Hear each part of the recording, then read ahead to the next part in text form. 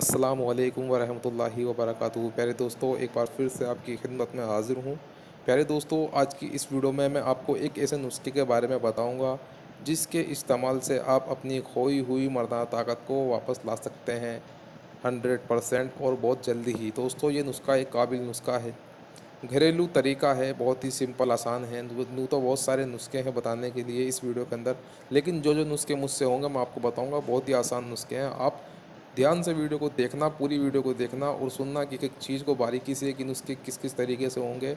बहुत ही सस्ते और आसान नुस्खे आज मैं आपको इस वीडियो के अंदर बताने जा रहा हूँ। मर्दाना कमज़ोरी के एतबार से, अगर किसी हजरात के नफ्स के अंदर कमज़ोरी है, ढीलापन है, रुकावट नहीं है, सिर पतन वाली समस्या है, बीवी संतुष्ट नहीं होती है, पार्टनर जो है, खुश नहीं रहता है आपस में झगड़े रहते हैं या कोई बचपन में गलत कार्य किए जिसके कारण आज उसे जो है, ये सारी समस्या भुगतनी पड़ रही है तो उनके लिए बहुत ही अच्छा नुस्खा है।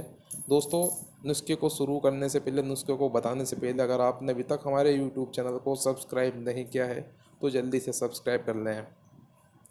दोस्तों, चलिए बात करते हैं नुस्खे की। नुस्खे में आपको क्या क्या लेना है, किस तरीके से नुस्खे को बनाना है? सबसे पहला नुस्खा मैं आपको बताऊँगा, दारचीनी वाला नुस्खा। दोस्तों, दारचीनी का आपको क्या करना है? अगर आप दो ग्राम या तीन ग्राम दारचीनी लेते हैं और उसका पाउडर बना लेते हैं और रात को सोने से पहले आप एक गिलास दूध में उस चीज़ को डाल लेते हैं, उस पाउडर को डालने के बाद में थोड़ा सा ओरिजिनल शहद डाल लेते हैं और रोज़ाना अगर आप उसे पियेंगे तो आपको दो से चार दिन में, पाँच दिन में ही मर्दाना ताकत मिलनी शुरू हो जाएगी।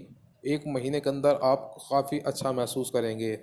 दूसरी चीज़ क्या है? इसके अंदर, दूसरी चीज़ इसके अंदर है आंवले का चूरन। या आंवले का चूर्ण आपको पंसार की दुकान से मिल जाएगा। आपको क्या करना है? सोने से पहले आपको जो है, इसे दूध में डालकर पीना है। इससे भी आपको काफ़ी अच्छा रिज़ल्ट मिलेगा। और अगर आप चाहें तो मिश्री भी डाल सकते हैं, दूध में, इसी के साथ में। तो दोस्तों, ये नुस्खे हैं आपको मर्दाना ताकत को बढ़ाने के लिए। बाकी बहुत सारे नुस्खे हैं ऐसे, जैसे कि सफ़ेद मूसली का पाउडर अगर आप दूध में डालकर इस्तेमाल करते हैं तो इससे आपका जो है, वीर्य जो है, गाढ़ा होगा। और अगर आप रात को दूध में केसर डालकर पिएँगे तो आपके वीर्य के अंदर जो है शुक्राणु की मात्रा पैदा होगी और आपके अंदर ताकत पैदा होगी, नसों में जो कमज़ोरी है वह भी दूर होगी। तो दोस्तों, कोई सा भी नुस्खा आप इस्तेमाल कर सकते हैं। आप देखिए, अगर आपको गर्मी की शिकायत ज़्यादा रहती है तो आप ठंडा नुस्खा का इस्तेमाल करें।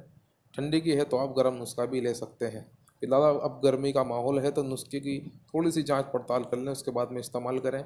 और जो रिज़ल्ट इसके निकल कर आते हैं, वो आप मुझे कमेंट बॉक्स में बता सकते हैं। और अगर आपको फ़ायदा होता है तो सबको बताइए, ताकि इल्म ज़्यादा से ज़्यादा लोगों तक पहुँचे और उनका भी फ़ायदा होता रहे। दोस्तों, अगर आप इस वीडियो को जो है फेसबुक पर देख रहे हैं तो फेसबुक पर इसे फॉलो कर लें पेज को मेरे। और अगर आप यूट्यूब पर देख रहे हैं तो यूट्यूब चैनल को सब्सक्राइब कर लें। वीडियो को शेयर कर दें। खुदा हाफिज़, जय हिंद, जय भारत।